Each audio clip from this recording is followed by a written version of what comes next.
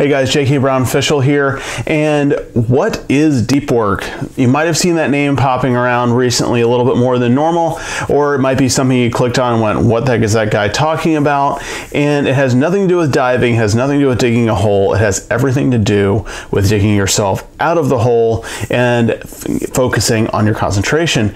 And really, this process has helped me out a lot I have attention deficit issues, like, well, almost everybody in the entrepreneur world does. And everybody finds their own way to fix it. And I have not done this until fairly recently, and it really helped me. So that's why I decided to make this video.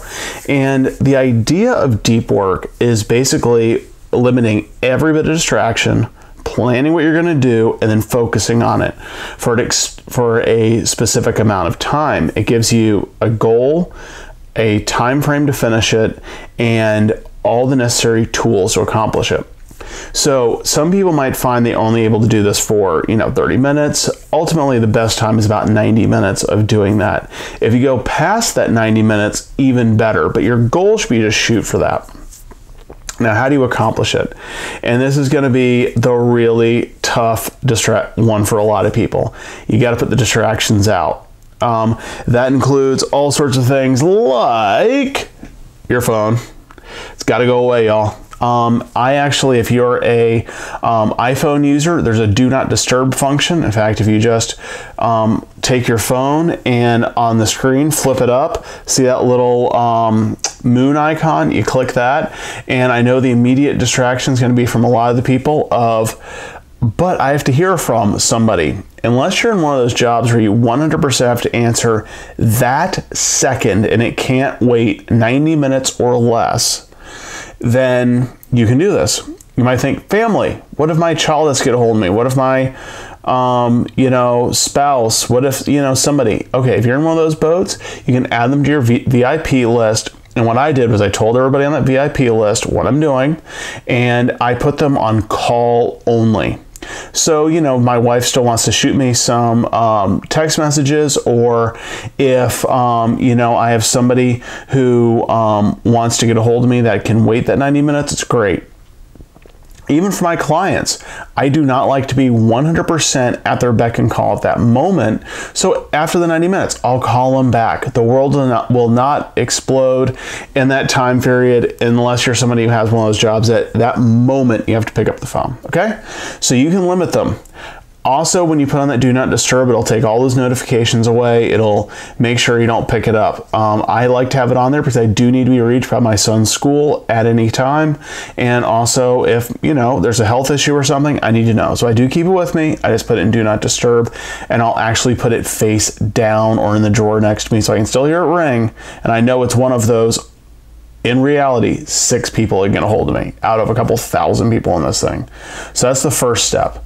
The next step is your actual computer. Um, that needs to be distraction resistant as well. So what you need to do is go ahead. Um, again, if you're an Apple user, if you click on the upper right hand corner, there is um, your um, there's a little, it says three dots, three lines. You can click right there and you can turn on do not disturb. I actually make it a point of doing this my entire workday. From when I start working until when I um, end, I actually do that. So it turns off all those notifications. So it allows me to pick what I'm distracted by. And um, in here, what that'll do is it'll allow it so when I bring up my screens, it keeps that up there. A couple of things. Right over here off the screen, I have um, a extra monitor. And then on my main computer screen um, I have all of my um, windows. And I bring up only the things I'm going to use for that 90 minutes. So for example what I like to do is I put all my research only in those windows on my extra screen and I type in my primary screen on my laptop. That'll keep me from going over to Facebook or something like that. I close the windows, they're gone. I'll come open them up later. Same thing for email. I'll get rid of all those email windows. I'll turn turn off um, my email notifications. I don't even see them. So I don't see the little you know, indicators popping up. They're gone too. And then what I like to do is after I have that before I sit down, I have everything set. I'll go ahead and set, I'm going to run through my ritual here. I go get myself a beverage so I'm not distracted by the fact of I need to get up and oh, I'm thirsty and I set, and I create a self-failing moment and I got to go do that. TMI, sorry, I'll go to the bathroom ahead of time. Make sure I'm not having to get up part of the way through. And then I'll also go ahead and I like to throw on a set of headphones and I use instrumental music.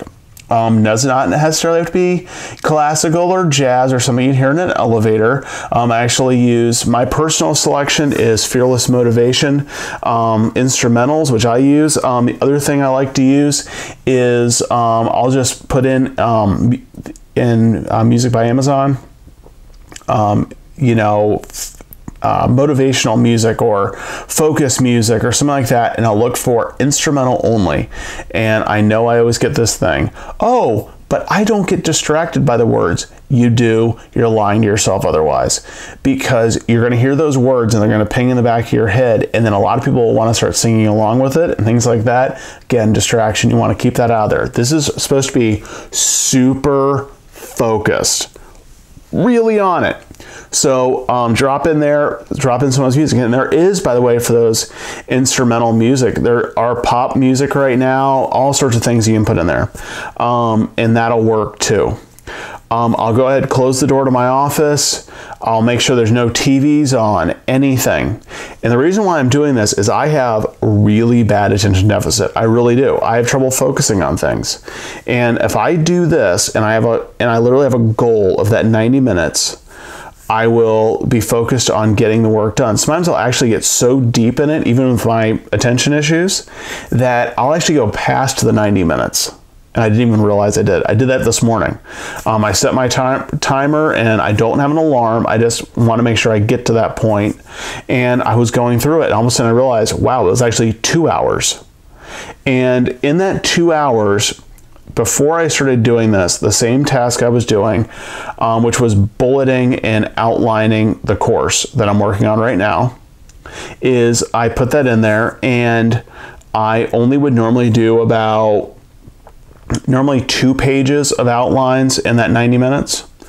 And with this, I actually did this morning, no lie, six pages of bullets because of that focus. I had everything in front of me. I had all my notes. I had my um, research material, excuse me, um, underneath my lap laptop here. I actually keep a huge whiteboard to write ideas down on because I want to sometimes visualize things that's a little more efficient than the computer. And I was focused on it, and I was deep. Now, this technique, I've actually used a modified version of it in schools. I was a technology teacher for a decade, and you know, I found ways to tell students, okay, just get this goal, a goal of this many minutes. That's it. You only have to do this snippet. You can't tell almost anybody, I need you to focus unwavering for eight hours. Nothing. Eight hours. That's it most people are not going to be able to accomplish it because it's an unfathomable thing. But with deep work, where you have a single focus, you have everything laid out in front of you, you're going to either two, three, or even 4x the amount of your of um, result you're going to get out of that. So um, I guarantee you, the first couple of times you do this, the first little bit, you're going to be having that nervous tick of grabbing your phone, wanting to check to see, you know, your buddy just posted a new crazy meme or you know you see oh how many notifications do i have going? You know all those things. Don't worry about it. It's only 90 minutes and you're going to find that productivity. Now the powerhouse that i put together is i like to split this um, when i'm doing my normal work day what i'll do is i'll do 90 minutes of deep work in the morning i'll do 90 minutes in the afternoon and then in the middle i'll kind of do those things where you kind of have to get distracted, I'll reply to emails or I'll do social media posts, things like that. And I'll work on those little smaller tasks that can get broken up or things I can multitask and do. Like, for example, if I need to eat lunch, um, I will do something with it. So, for example, you know, I'll watch a YouTube video or something like that to get ideas. So, that'll help you with it. Now, Shameless plug, if you had um, value for this, please smash the subscribe button, turn on the notifications. It would mean the world to me because I am trying to drop some great value on you and um, give you some tips that are actually applicable, not just regurgitations of somebody else.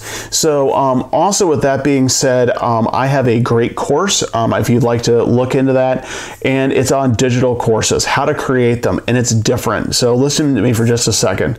Is this is actually taught by a teacher? I was a teacher for over decade. I have a master's degree in education and have taught thousands of students, developed curriculum for um, many very reputable places, including states and private organizations and businesses.